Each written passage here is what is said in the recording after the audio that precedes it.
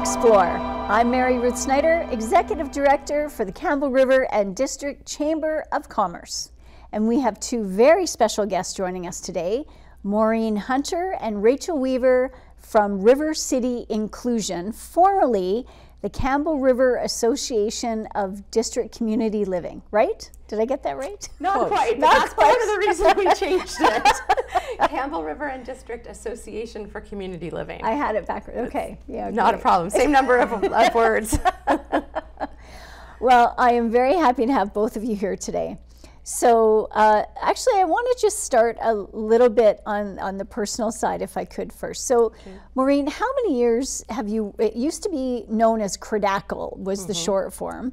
So, how many years did you work at? at have you worked for this organization? I'm in my 40th year with the 40? 40th year. I was really young when I, I was started. just gonna say, what were you, ten when they hired you? I was in my early 20s. Wow, forty. Yeah. You don't hear of that anymore. At, at, at uh, Rivercity Inclusion, there's quite a few people. I'm I'm the longest uh, employee now, Okay. uh, but uh, we have a lot of people who are in their 25th and 30th year. Quite a quite a bit actually. That's extraordinary. That reminds me of Sandra Parrish, of the executive director at the museum. Same thing. Yeah. She's been there uh, 40 plus years as well. That is extraordinary. It's an incredible compliment to the society that uh, we have such long-running employees. It really shows their dedication and passion to what we do. really? Truly. And it speaks highly of the organization I work for or have the privilege to work for. When you like what you do and you like who you work with, you don't need to change. Well, I guess. Yeah. That's amazing. Now, when you first started, what, what was the role that you were in? Um, I, s- I- I started as a life skills instructor, and I did that for two years. And then a position came up in what was referred to then as a sheltered workshop. And I did two years there. And while I was in the sheltered workshop, employment services became a thing, so uh, employment in the community. Okay. And I applied for that position, and so I've been there for 36 years. wow. Yeah. Now, I guess we can come back to, well, no, I'm going to ask you this now. In the 36 years that you've been in that role of employment supports, how have you seen the general population change with regards to employment of the individuals you work with? Um, what's really becoming uh, really noticeable is the the employers who were in school programs and high school programs who had people in their classroom who had labels of developmental disabilities. Okay. So I'm getting more and more. So probably 30 years ago, 25 years ago, the schools really started to promote having students in their classroom, in their homeroom. So there was more inclusion and mm-hmm. integration in the schools. So the exposure is there. So now when I approach employers, quite often they say, "Oh, I went to high school with him," or "Oh, he was in my home economics class," or "I went to oh, gym with him." So that's that's really, really, really noticeable. So the work that was done 35 years ago is really paying off now. Oh, okay. That's fascinating to see that come full circle. And I suppose if it wasn't the same person in your job for 36 years, that noticing of that particular aspect might not have occurred. Um, maybe. Wait, you know, and, and our community is so so unique. Campbell River is so unique. Yeah. You know, I have um, the pleasure of supporting people who. Um, one gentleman who's at uh, Quality Foods, he was there when it was IGA when it first opened up. Oh my so he's been there 20 plus years. Another gentleman Wow. has been at MVP when it was Fog and Suds, Yeah. and and he's been there almost 20 years. So Mm. we have a lot of long time employers in our community. Now, okay, so what is your actual title? My actual title is Employment Services Supervisor. Okay. So I oversee um, different aspects of the employment services that Rivercity Inclusion offer. Okay. Awesome. Now, Rachel, we're going to turn to you. Now, Rachel, you've been in your new role as executive director for almost just two about two and a half years. Two and a half years. Oh, time flying flies. by. because I think we first spoke when you were about a month or two in. It was very early on in my tenure. Yes, I'm pleased to be back a couple of years later. Thanks for having us. Now, what was behind the name change, and how did that come about? So the name change uh, came up actually as early on as my, my job interview with the board of directors. It was something that actually had been explored prior to my starting. Uh, our name has changed. Uh, this will be our fourth name change, I believe, since uh, the society launched almost 62 years ago. So there have been many changes. Um, and the board felt that the name was quite long. People didn't really know how to say it correctly, and so they they used CRIDACL, which was the um, the acronym for Campbell River and District Association for Community Living. And CRIDACL is a very harsh word. It, uh, I remember somebody on our strategic team, uh, strategic planning team, when we were talking about it, said it sounded like a, a like a medical problem. Like, oh, you have hundred CRIDACL, percent.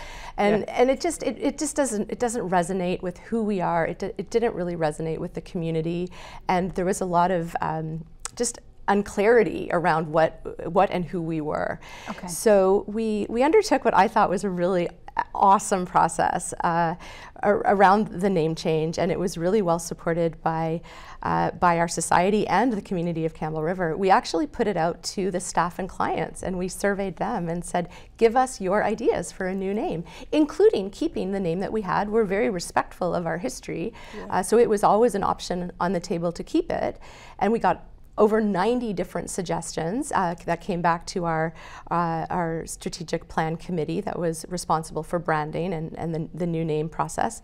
And when we got all those names back, we had criteria and we whittled it down. I think it got down to 20 that fulfilled the criteria. There were names that other societies already had that we couldn't, you know, appropriate. So, Right. so and the Registry Society has very clear direction on what you can use and not Right. use.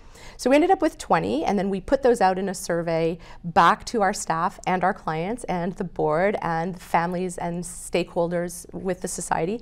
They all voted, and then we took the top three results from that survey and worked closely with the Mirror newspaper, who were so supportive of this process. They, The Mirror's been wonderful to us, and we actually put it in the paper, and we allowed the whole community of Campbell River to vote on it. Awesome. And Rivercity Inclusion was the winning name, and we are s- we could not be more thrilled with it. And it's a soft name too, Yes. Rivercity Inclusion. Yeah. It just kind of rolls off the tongue like velvet. That's right. I we're, I think everyone is, is really pleased with it. And inclusion is really at the heart of everything that we do. So our name truly represents our mandate in terms of what we do to support our clients.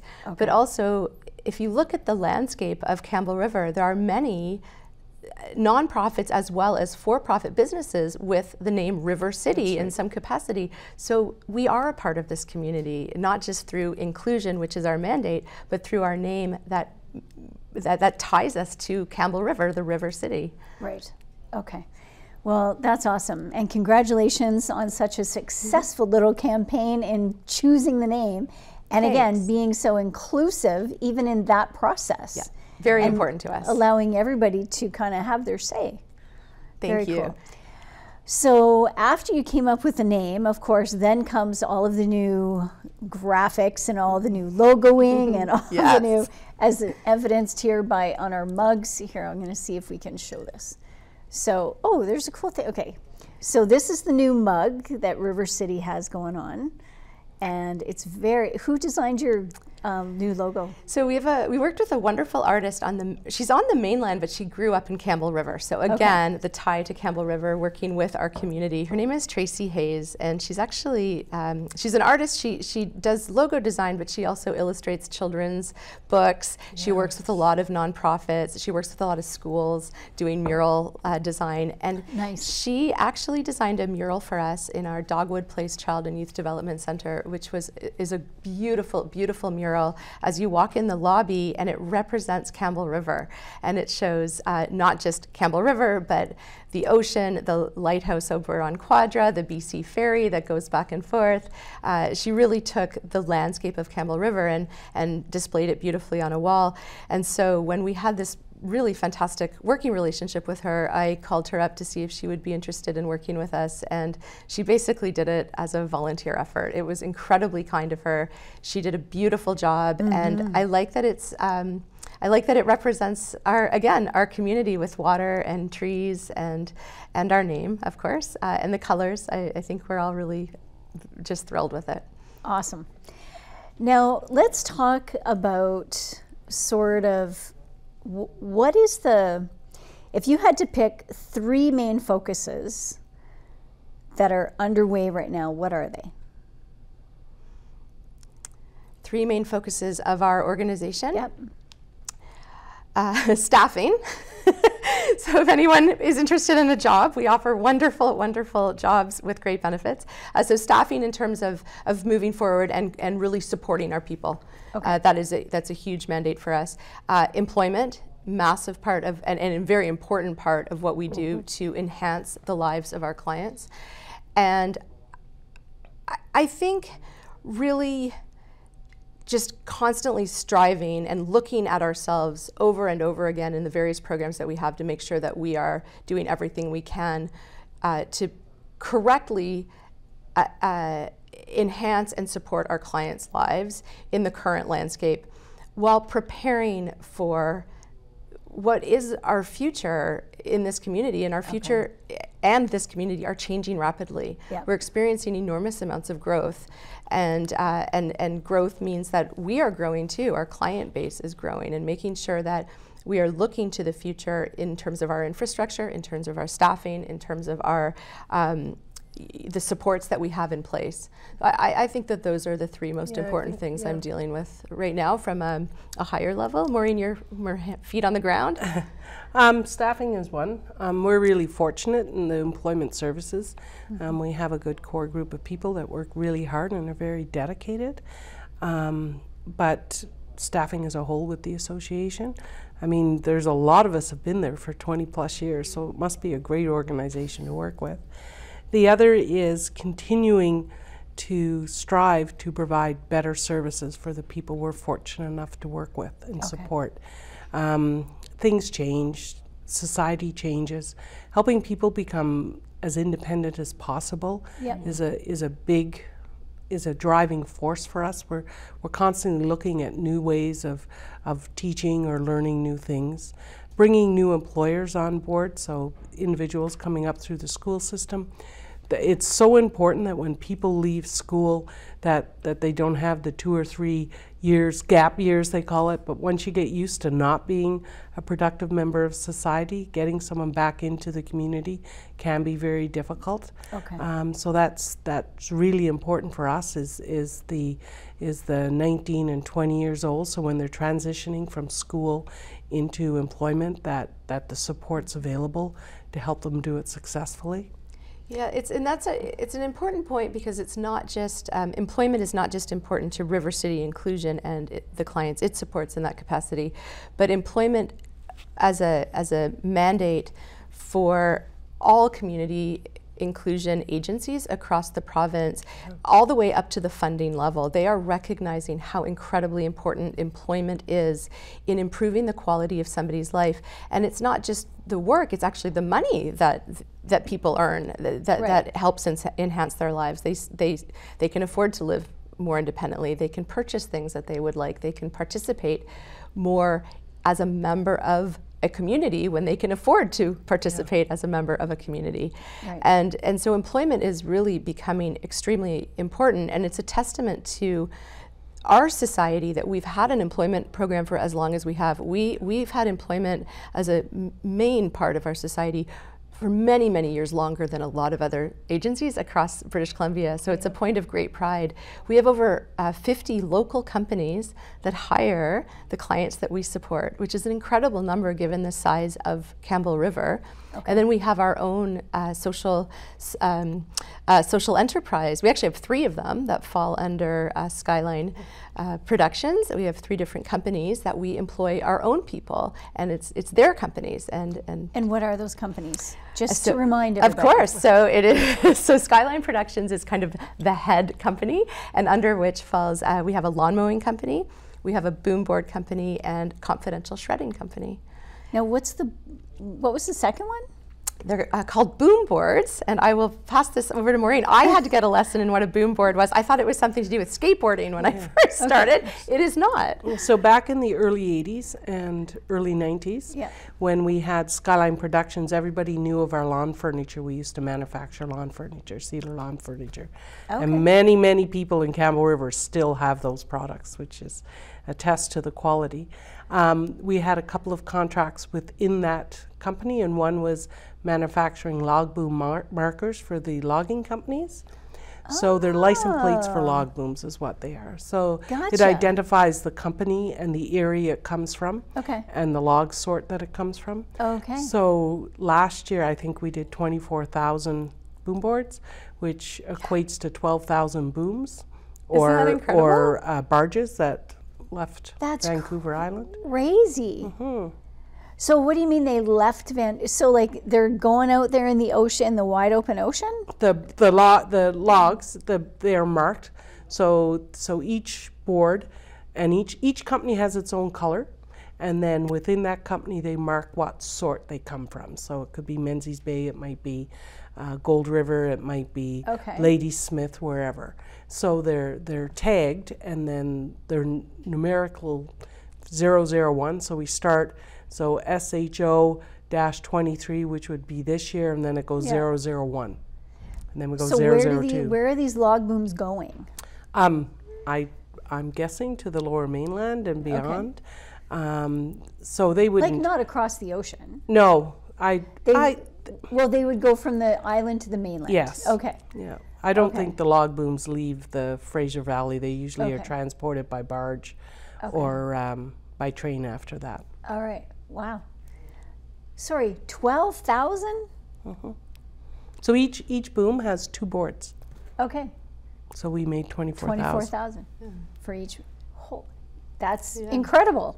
Yeah, we have an amazing client list who, uh, you know, Yeah. who, who, who hire us to do that. Our confidential shredding business is Yeah. also quite widespread. We have and clients. And it's really it, uh, it has over. really taken off the the Yeah. shredding. So um, we What do you do with the paper? it has to go to recycling.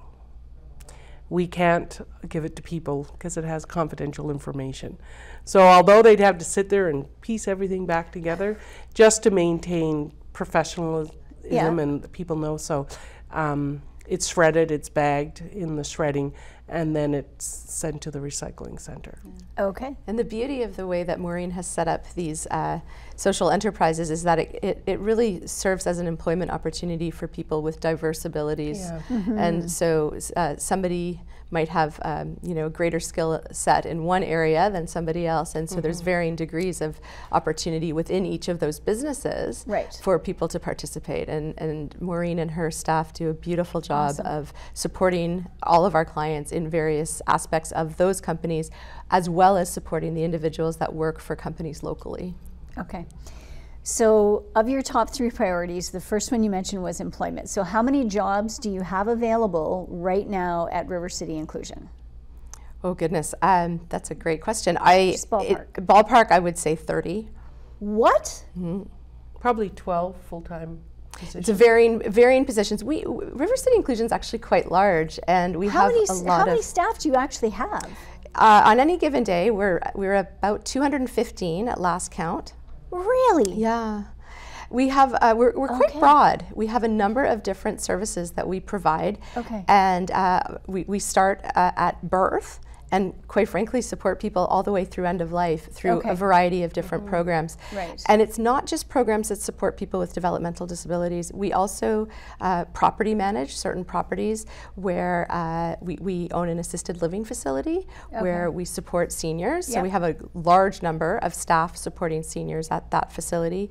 We, uh, we run a couple of other housing, um, inclusive housing properties. So we have people who have to uh, work at those properties to maintain them correctly and to provide assistance in certain areas.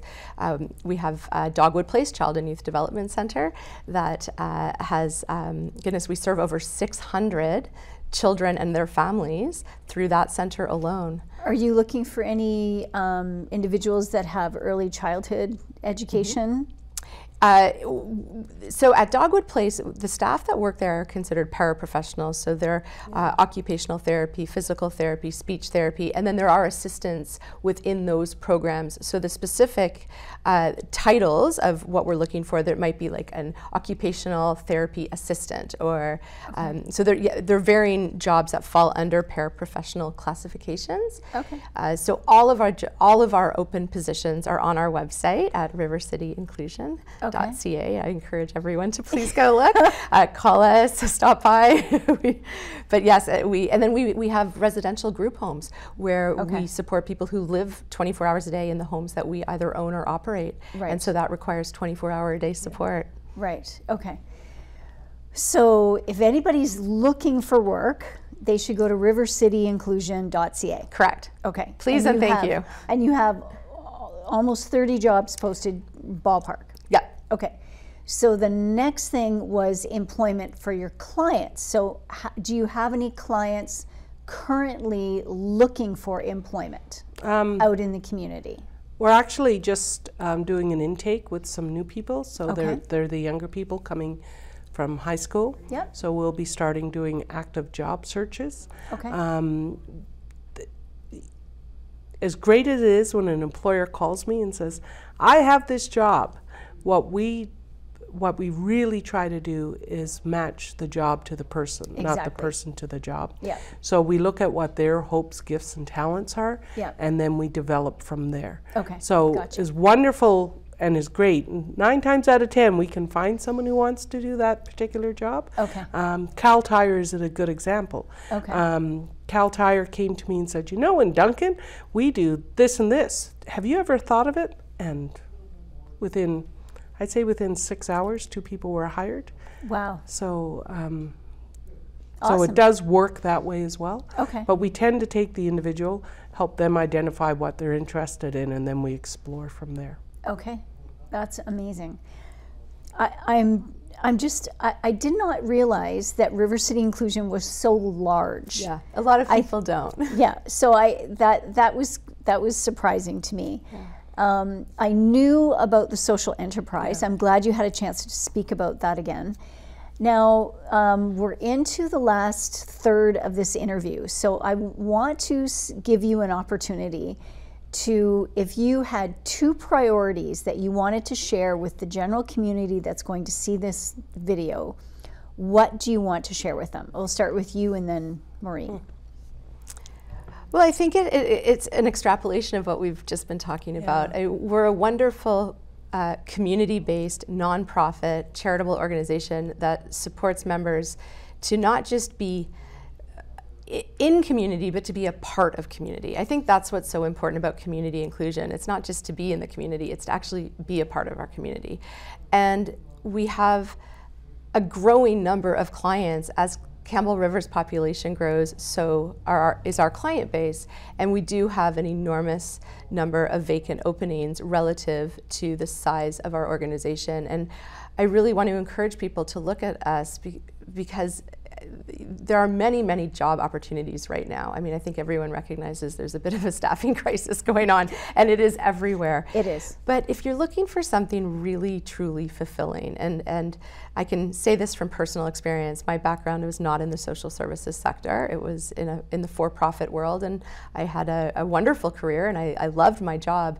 This is an entirely different experience. It is so fulfilling. I, it's, uh, I find myself often quite teary, which is really an unusual place to be. But I, I deeply love what I do, and it, it's quite frankly surprising how much I really love what I do, and and that uh, makes it worth those 16 and 17 hour days that I find myself pulling occasionally. But I, I so I, I really would encourage people, you know, community living. When I was approached, about the position, and I received a phone call saying, you know, I'm from Campbell River and District Association for Community Living, and I said, oh, is that an apartment building? like, it, it doesn't describe what we are. Right. We are so much greater than our name. Even River City yeah. Inclusion, which I think is a, is a more descriptive name. Yeah. What we do and the opportunities we can offer people, and, and the opportunity, you know, a good wage and excellent benefits, that's wonderful and it's important and people deserve to, to have those things to live a balanced life but also the rewards that you get out of the work that you do i think is really tremendous and so i'd really want people to explore what it means to come and work at an organization like ours and right. you're rooted with the client and you're also rooted in the community right so okay. that would be my first okay is is do I get number two also, or is that Maureen? you can have you can have the second one. Then we're going to give Maureen two. So I would really encourage, um, as Campbell River continues to grow, that employers take a good look at the clients that we support and take the opportunity to speak with employers who currently do employ our clients. I think you would hear them say, in fact, I know you would hear them say what I just said, which is the rewards yeah. are tremendous. And a lot has been learned through COVID, good and bad. And what we have found from employers who have hired our folks is that our clients have been invaluable. Many of our clients uh, showed up to work every single day and, di- and, and didn't take any time off when, when others did. And were really uh, critical to maintaining infrastructure. Mm-hmm. And I think the relationships that are made in the workplace when you have a diverse and inclusive workplace is again very telling of your community yeah. and, I, and and it enhances your community in ways that you can't imagine. So I would really encourage employers to to reach out to us, reach out to Maureen, reach out to Skyline Productions, mm-hmm. and okay. take a really good look at the benefits um, it's so easy to be scared of what you don't know, but we have all the supports in place uh, to provide a really successful experience for both the client and the employer, and I think okay. there's a lot to offer. Awesome. Maureen? Oh, Rachel covered most of it. Okay. Um, We're down to two minutes. Okay. Again, I'd no like pressure. to. No, pressure. no pressure. Um, I'd like to reach out to the community to encourage people to step outside the box and offer employment to, um, we have an amazing team of job developers that work together. And when you get to share, I often say I get to ride on the, the coattails of the people I support success. So that's what my job is all about. It's the successes. It's it's the right. it's the things that I get to share in their accomplishments. Or an employer hires someone and says, "Geez, Maureen, and we should have done this ten years ago." And I just smile and say, but we're doing it now, right? Um, the Real Canadian Superstore, I have to comment, have recently employed in the last six months, I think they're on the fifth person because nice. they've got a niche, they know what people can do, yep. they know what they need done, and they're willing to carve out the job based on the person's gifts and talents. So, so they get what they need done, and the yep. individual is working, is very successful and feeling good. Awesome. Um, I'd also like to compliment Campbell River on their support of Rivercity Inclusion. Okay. We're, we are built by the community. Mm-hmm. We were, the actual brick and mortar came from the community. And the brick and mortar extends itself to what we are now. So the fact that Campbell River is so, so supportive, and, we have several projects coming up that, that there is no government funding for, right. we don't have the resources for but the community continues to support and donate to us to help us encourage and enhance individual lives. Okay. That's probably the biggest thing is is um, is the support we get from our community. Awesome. Well, Maureen and Rachel, thank you so much for spending time with us today on Explore and explaining all about Rivercity inclusion and how big it actually is and all the different things you have to offer. And for anybody looking for employment, make sure you go to rivercityinclusion.ca. If you're looking for employment, that's where you'll find it. If you need employees, you'll also find them there and you'll reach out to Maureen. Thank you again, ladies, for coming today. You've been watching Explore. Please join us again.